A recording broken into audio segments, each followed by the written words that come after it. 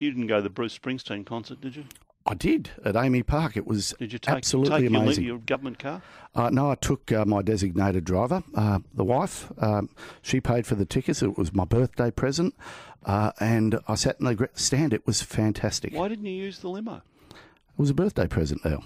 Um, and my wife and I, uh, and my son, who's also a Springsteen fan because he has fantastic taste, uh, came along and we had a great time. But look, You know, there's two ministers being criticised for using their limos to go to uh, publicly funded limos to go to Hanging Rock for Springsteen. Yeah, well, I wonder where all this ends. To be honest, Neil, quite frankly, um, if if uh, essentially ministers can't use their uh, their the provision of their driver in the circumstances, I understand uh, Minister Allan uh, was uh, at the invite of a company, and of course, a lot of those corporate functions do require a fair degree of engagement, and it it looks, it feels, and it sounds a lot like a work uh, function.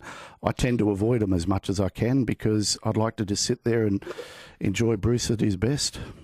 So it's work to go to a Springsteen concert and spend five minutes with the promoter beforehand. Oh, I think uh, you'll find that at those events, um, uh, and I I've ha- have attended such events, uh, you know, in the deep dark past.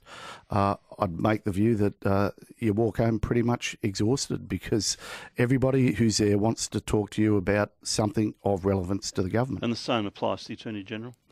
Well, I don't know what his circumstances were, He was but there I'm with sure. his limo. Yeah, but I, uh, as I say, I've heard uh, what Minister Allan has said. I read the, the press around it.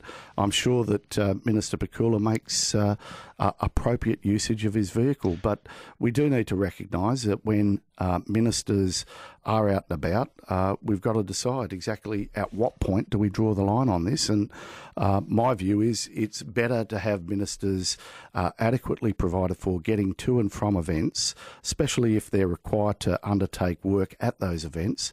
And I don't think there's any doubt that they would have been the subject of uh, lobbying, discussion. Uh, it's important that our ministers do get out and about. Do you think we're going a bit far with this pub test business? No, look, I, I think firstly, if if we're talking in a broader sense, um, uh, I, I I think we've we've got to recognise that the community's uh, at a, it, their tolerance is at an end. Now, I've previously on this program and uh, elsewhere said that uh, look, you can't replace common sense with rules. Uh, but it appears that uh, we're going to have to do a lot more in this space because, for whatever reason, um, people are not doing the right thing. Uh, uh, it might not technically be a breach of the rules, but quite frankly, politicians have to hold themselves to a higher level of account. And I think the government is committed to ensuring that happens.